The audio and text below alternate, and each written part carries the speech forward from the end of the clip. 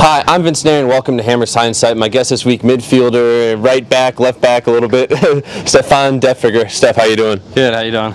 Good. So you, your role has changed a, a little bit throughout the season. You, know, you played a little bit on the back line. You've played the last couple weeks in the midfield. You know, how do you kind of stay ready for whatever you're needed? I mean, uh, basically throughout my career, growing up and even when I was younger through college and, and now here, I've sort of been sort of a player that's been pretty versatile and been able to sort of move around the field. I mean, I've played anywhere from center mid, attacking center mid, forward, both outside mids, and now outside back. And uh, I sort of I, every week I sort of train a different spot, but you know I always have to think that I, I, might go in here, I might go in there. So I just I always have to be focused and ready to, to sort of step up in any position. All right, well good. We're going to take it out and look at a couple of those different roles. Steph, here you are against Louisville. You're playing on the left side. and you kind of take me through what your role is in this situation. Yeah, so Q gets the ball. Uh, I'm basically trying to get in the box in order to see if I can get across or, or get a flick on, on a deflected shot.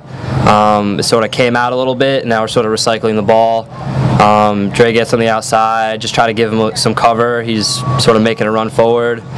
Support him here came on here in the second half against Pittsburgh, and you're playing on the right side of the field, and you're also playing up a, a lot farther. You know, yeah. just tell me how the kind of the score of the game dictates that. Yeah, so we're down one nothing, so obviously we need a goal, um, and so my job is sort of to get wide and get crosses in the box, or try to find a ball through the middle. And here you are getting the ball right here. This position, I mean, I, I always love to get it here because I can attack the right back. I have enough room to attack him, and also I have Troy or the right whoever's playing right back sort of coming around me, overlapping. So I can either play him, suck the defender in, and play him out wide for a cross, or I can take the defender on myself if no one comes to help him.